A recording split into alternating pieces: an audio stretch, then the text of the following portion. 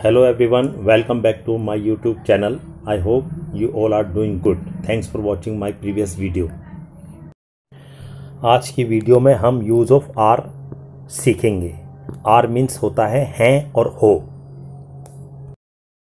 आओ हम आज की वीडियो को शुरू करते हैं। रिमेंबर याद रखना या याद रखो। वी वी मींस हम।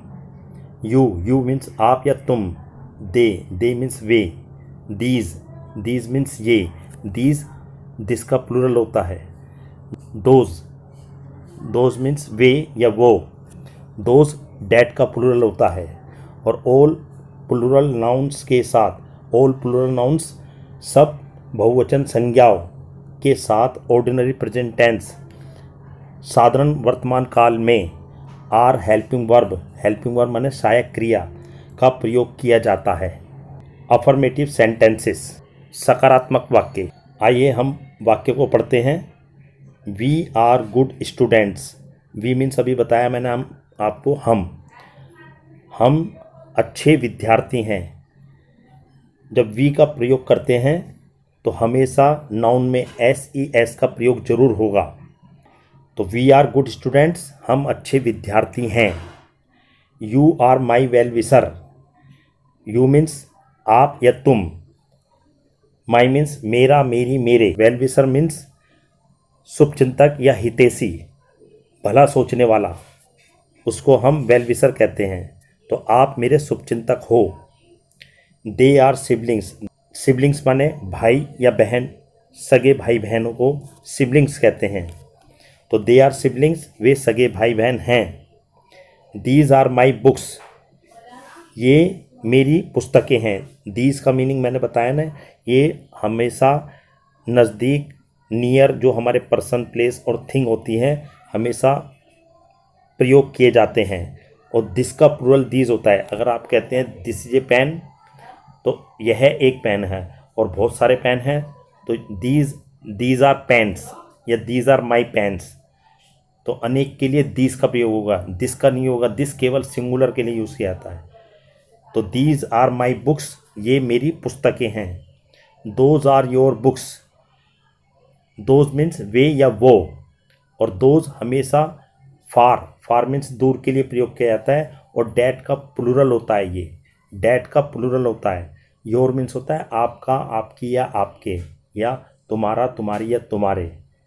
तो दोज आर योर बुक्स वे आपकी पुस्तकें हैं। यदि आपको मेरी वीडियोस पसंद आ रही है तो प्लीज़ मेरे चैनल को सब्सक्राइब करें और मेरी वीडियोस को ज़्यादा से ज़्यादा शेयर करें, जिससे मुझे आगे की वीडियो बनाने के लिए मोटिवेशन मिलेगा। आइए हम अपनी वीडियो को आगे बढ़ाते हैं। Learn by heart the following words learn means सीखो बाय हार्ट मीन्स होता है कंठस्थ याद करो। कंठस्थ मीन्स जुबानी याद करो। The following words the following means निम्नलिखित वर्ड्स मीन्स शब्दों को।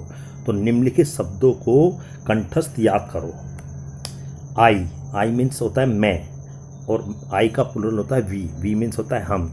जैसे I am a good student I am a good student और हम अब we we are good students we are good students you you means होता है आप, और यू मीन्स आल्सो प्लूरल आप या आप सब।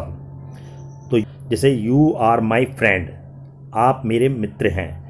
आर माई फ्रेंड आप मेरे मित्र हैं। यू आर माई फ्रेंड्स मेरे मित्र हैं। यू आर माई फ्रेंड्स आप मेरे मित्र हैं। ये हैं जो आया प्लूरल का वर्ड होता है। ही। मीन्स वह, पुरुष वर्ग के लिए प्रयोग किया जाता है।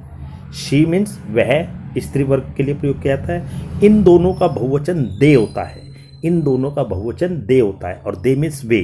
जैसे he is my father she is my mother अगर वो दोनों एक साथ खड़े हैं तो they are my parents they are my parents वे मेरे माता पिता हैं। तो ही इज़ माई फादर वह मेरे पिता हैं। सी इज़ माई मदर वह मेरी माता जी हैं। और दोनों एक साथ खड़े तो दे आर माई पेरेंट्स तो वे मेरे माता पिता हैं। दिस माने यह। इसका प्लूरल होता है दीज दीज मीन्स ये। जैसे दिस इज़ ए पेन यह एक कलम है। और दीज आर पेन्स ये कलम हैं।